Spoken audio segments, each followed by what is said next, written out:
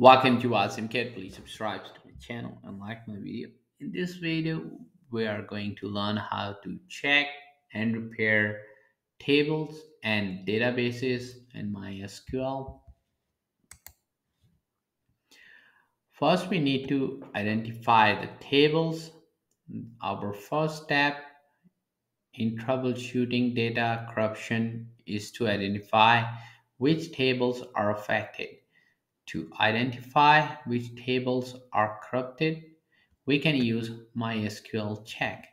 So on our terminal, you can type MySQL check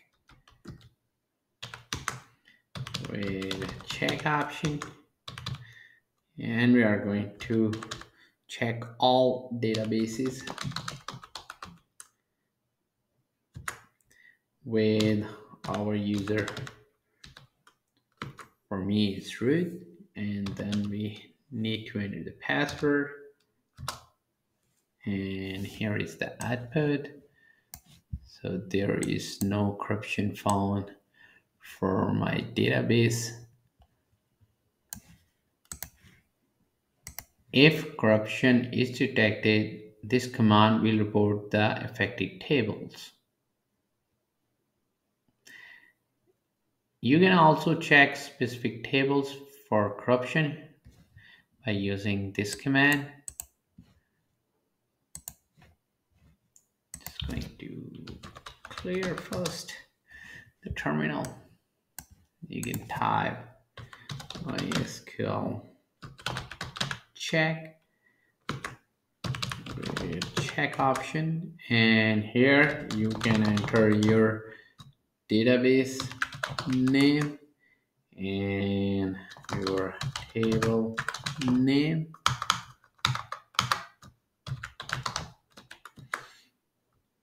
And you can enter your user.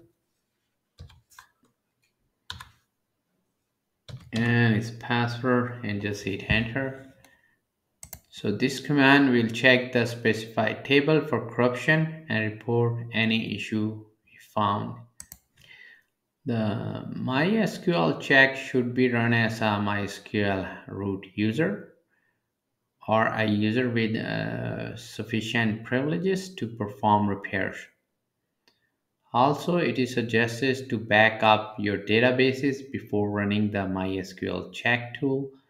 In any case, if uh, data is lost during the uh, repair process. You can uh, determine the cause of corruption once you have identified the affected tables. The next step is to determine the cause of the corruption. Some common causes of corruption are hardware issues such as failing disks or faulty memory, software bugs or errors, network issues such as packet loss or corruption. You can also use tools like the MySQL error log and system logs to help identify the cause of corruption. For example, you can check the system logs for any disk or memory errors. Now, if you want to repair the table, if the corruption is minor and you have identified the cause, you can try to repair the affected table by using this command. You're just gonna use MySQL check with dash R option and here you just need to enter your database name and your table name. And just uh, and you need to specify your user and the password for your uh, user. This command will attempt to repair the table and fix any corruption issues.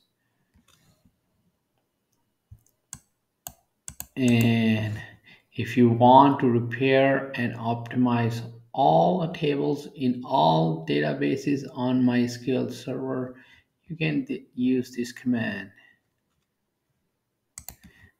You can use MySQL check with dash R option and dash A and then user and the password and hit enter. So this one, this command will go through each database on the MySQL server and check each table for errors. If it finds any errors, it will automatically attempt to repair them. Additionally, the command will optimize each table, which can help improve query performance.